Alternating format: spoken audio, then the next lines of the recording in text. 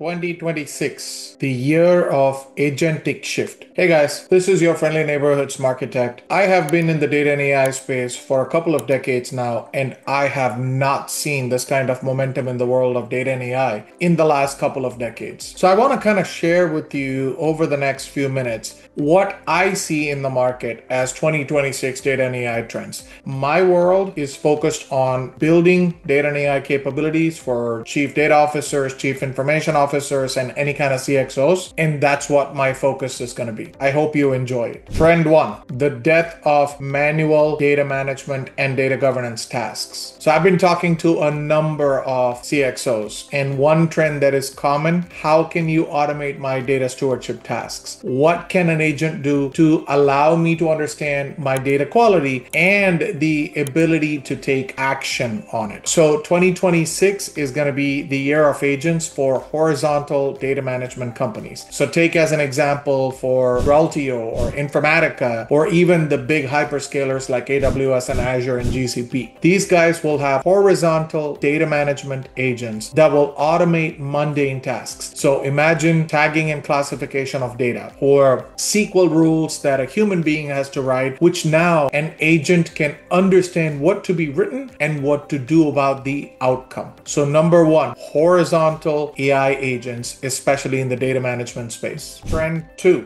hyperdynamic pricing. So you guys have heard about the Delta effect. About a couple of years ago, Delta started charging what they call as surge pricing, which Uber actually originated for customers, not just based on the time of the year, but also based on their travel patterns, based on whether it's for, for personal travel, and so many other parameters. Now, going into 2026, with the help of agents, this will be a regular thing, especially in B2C market. The companies are moving from seasonal pricing to more of a hyper personalized pricing based on the real time data, the willingness to pay, and more importantly, the assistance of AI agents. So, trend number two hyper dynamic pricing.